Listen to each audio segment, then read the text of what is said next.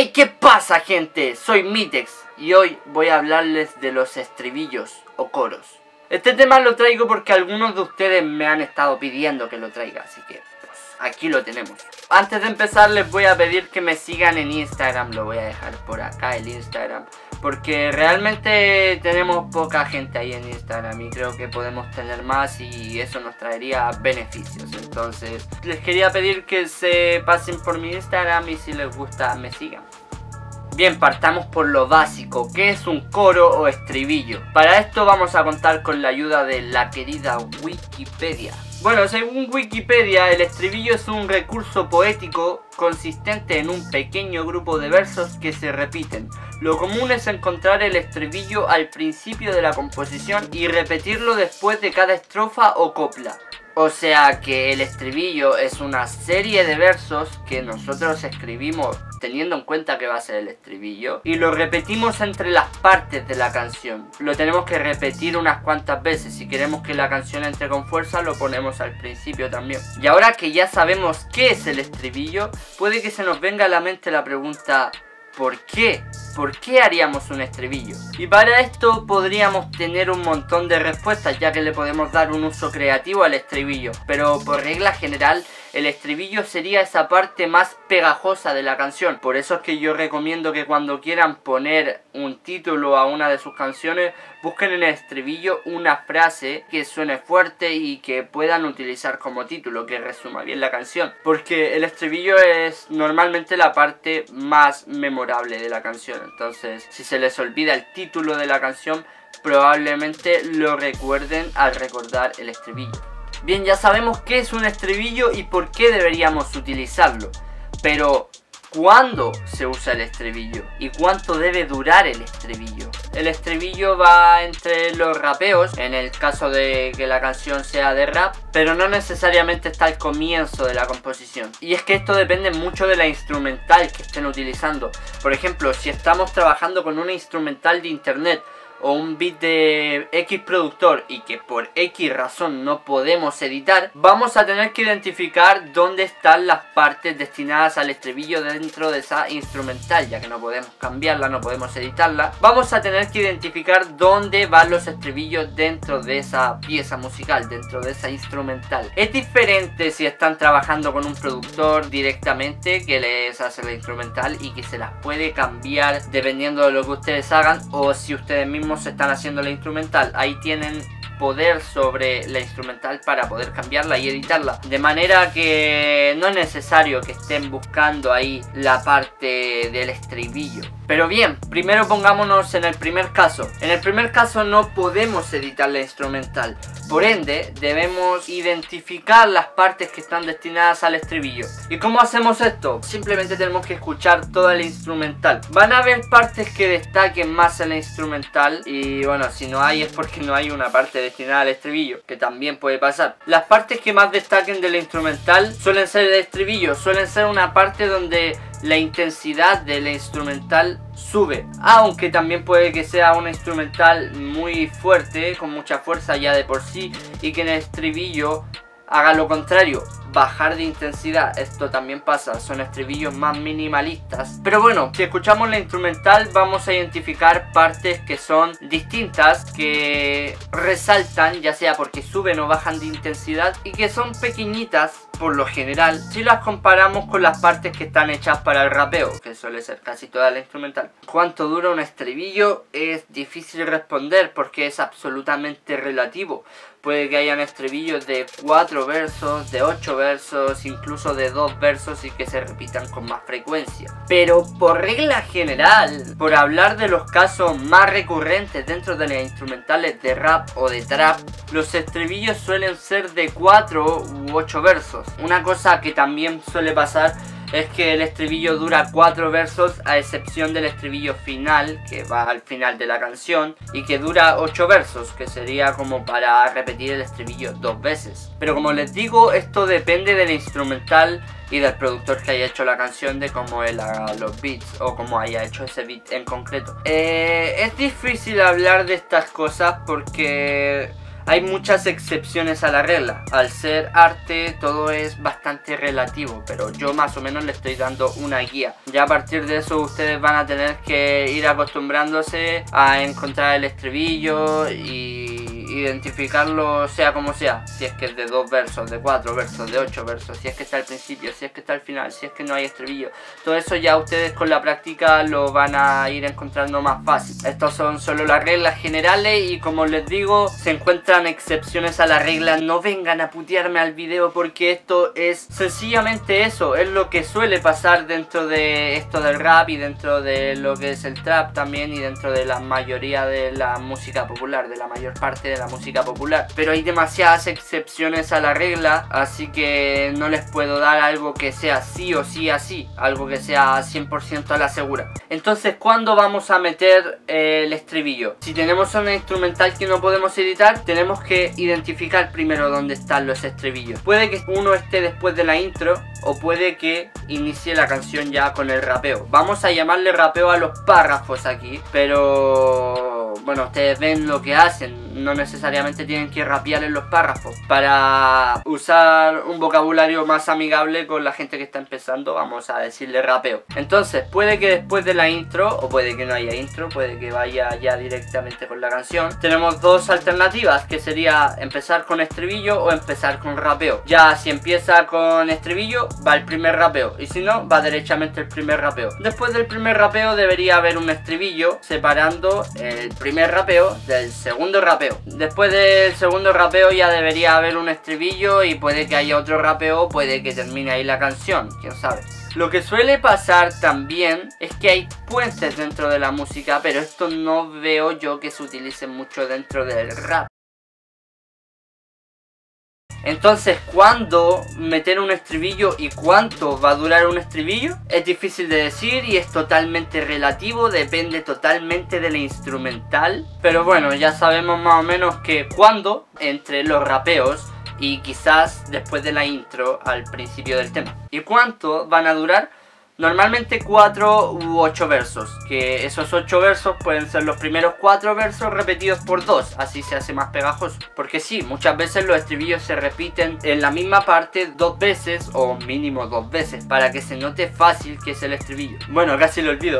Si ustedes están haciendo la instrumental o están trabajando de la mano de un productor que les puede editar la instrumental, entonces ustedes pueden escribir y ya luego poner estribillos donde ustedes quieran. Si este es el caso, lo normal sería poner un estribillo entre los rapeos y si quieren poner uno entre la intro y el primer rapeo. Eso sería lo normal. ¿Y cuánto debería durar? Bueno, eso depende de lo que hayan escrito como estribillo. Si han escrito un verso de estribillo, ustedes verán ahí por cuánto tiempo lo quieren repetir. O si han escrito dos versos o cuatro versos, ocho versos. Depende de lo que hayan hecho ustedes. Pero sí les recomiendo que si van a hacer una canción, busquen un productor que les pueda editar el beat o se hagan ustedes los beats, aprendan ustedes a hacerse los beats porque les va a dar mucha más flexibilidad y mucha más comodidad. Digamos que van a poder hacer prácticamente lo que quieran con la estructura de la canción y van a poder si quieren saltarse todas las reglas. Y no sé si lo mencioné también, pero puede que la instrumental no tenga lugar a estribillos. En ese caso ustedes verán si es que quieren rapear toda la instrumental o si quieren poner estribillos. Si quieren poner estribillos, bueno, pueden ponerlo en la parte que ustedes deseen mientras les dé la estructura de la canción. Les recomiendo contar los versos, los versos que pueden hacer dentro de la instrumental y ya luego hacer un unas cuantas operaciones matemáticas y decir cuánto quiero que duren mis partes rapeadas, cuánto quiero que duren mis estribillos y hacer que calce este número. Si ustedes saben un poco de música, incluso pueden editar el beat ah, aunque sea descargado de internet, pueden hacerle algún arreglo musical ahí para que se note el estribillo o cortar el beat o alargar el beat, que es algo que yo hacía mucho cuando descargaba instrumentales de internet. Ok, ya sabemos qué es un estribillo o coro, por qué usarlo, cuánto debe durar y dónde lo debemos colocar. Ahora viene la parte que muchos estaban esperando. ¿Cómo haríamos un coro o cómo haríamos un estribillo? Opción número uno, hacer un coro cantado. ¿A qué me refiero con que sea cantado? A que no sea rapeado. O sea que es como si metiéramos un pedazo de rock o de pop dentro de nuestro rapeo. Si ustedes saben hacer melodías y saben cantar bien, entonces pueden hacer esto solos. Si no, pueden invitar a algún cantante que sí sepa hacer esto.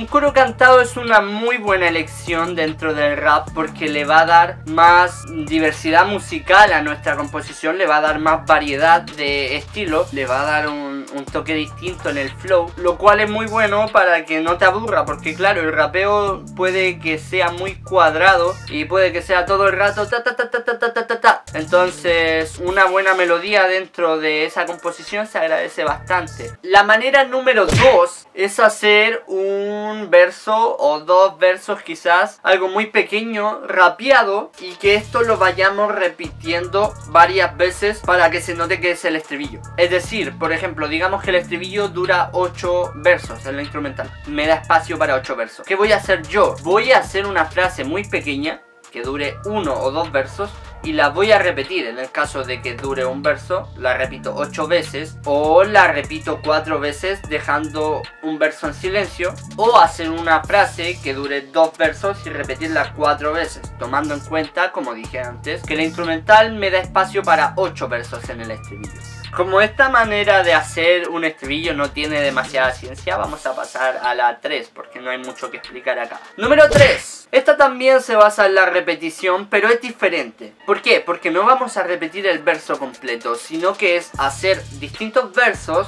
sin embargo poner ciertas palabras que se repiten ahí. Estos serán recursos literarios como la anáfora. En español, una palabra o frase que se repite continuamente al comienzo de cada verso. Por ejemplo, yo hace mucho tiempo para mi colegio hice un rap de Subterra, que es un libro, que decía Subterra, aquí hay hambre, penas y miseria, Subterra, si no eres fuerte te come la tierra, Subterra. Y si se dan cuenta dice Subterra al inicio de cada verso, esto sería una anáfora. Y claramente se nota que es un estribillo porque si no, porque diría subterra tantas veces. Además que va acompañado por una subida en la instrumental, una subida de intensidad.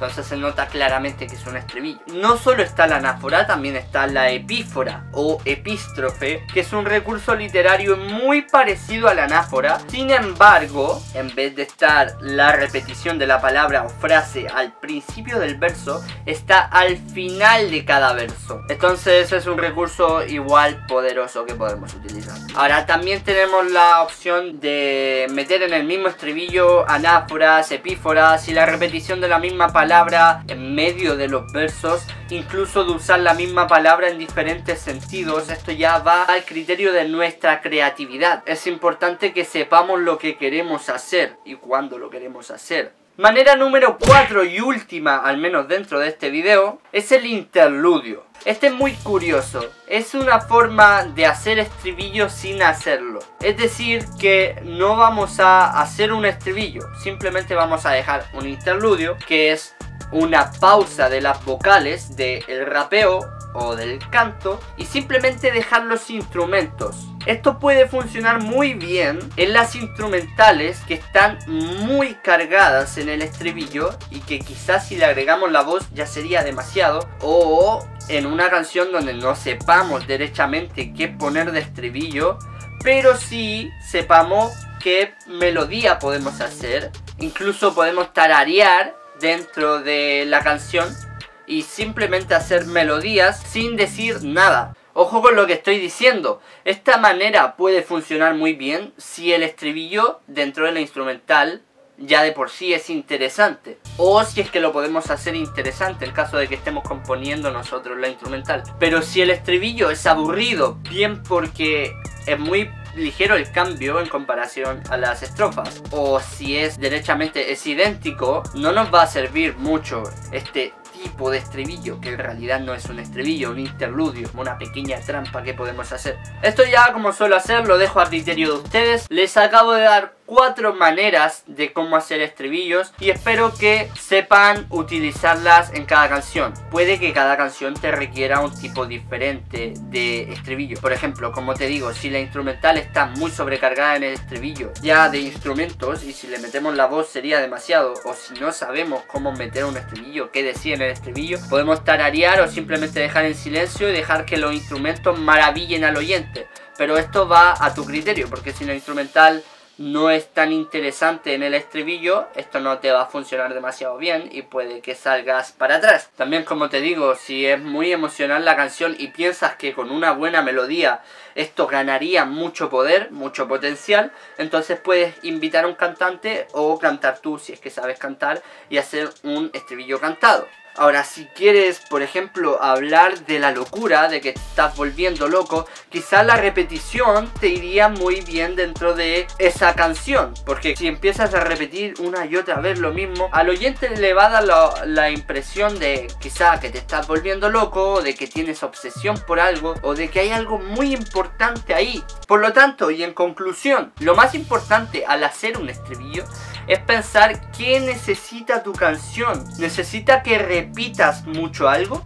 Porque si necesitas repetición te recomiendo que hagas versos cortos y lo repitas mucho. Si no necesita repetición, si necesita melodía, entonces canta algo o invita a alguien a cantar. Debes saber lo que estás haciendo antes de ponerte a hacerlo. Y bueno chicos, sin mucho más que decir, los invito a revisar mi Instagram. Estoy subiendo contenido bastante interesante ahí de pronto subido, por ejemplo, un post de mi evolución musical desde que comencé hasta mi estado actual, lo cual puede parecerle muy interesante a la gente que está empezando para que sepa cómo ha sido mi avance a lo largo de los años. Y estaré publicando más cosas por ahí. Quizá incluso haga un sorteo. Así que están todos invitados a echarle un ojo a mi Instagram. También a mi Facebook, que en Facebook suelo publicar lo que estoy haciendo mis proyectos en que estoy. Aunque sí que es cierto que lo dejé un poco de lado desde que tengo la pestaña comunidad y puedo informarles todo desde el mismo YouTube.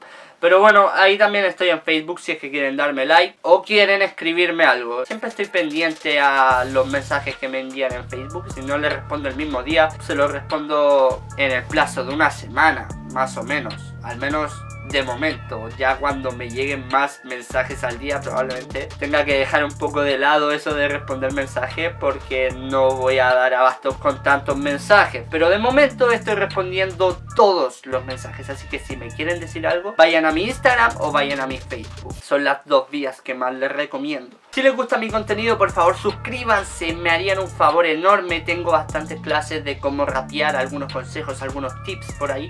Y tengo contenido bastante interesante dentro de mi canal, así que si eres nuevo, échale un ojo.